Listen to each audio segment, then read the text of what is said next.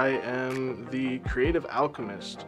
What that means is I am Paul's second in command. I do most of the videos, I do a lot of the live streams, I take whatever the client needs and put it together magically.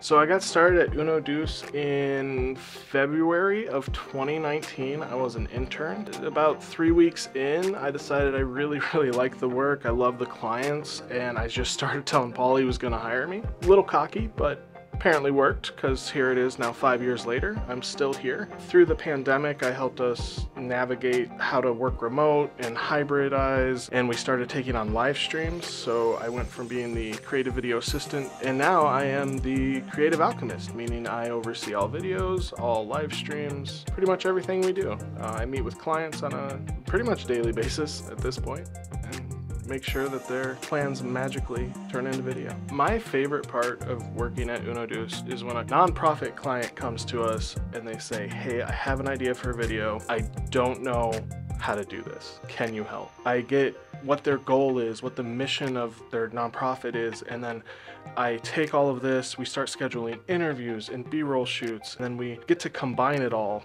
in a very magical way to create the final product for them. And when I see the smile on their face or I get that email where they're just like, oh, it's perfect, we love it, it just makes my day.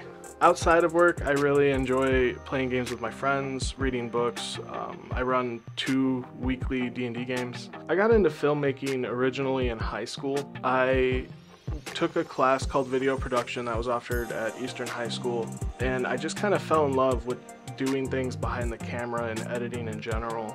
There have been a lot of changes over the past five years, but I feel like I have grown immensely in my time here at Uno Deuce thank you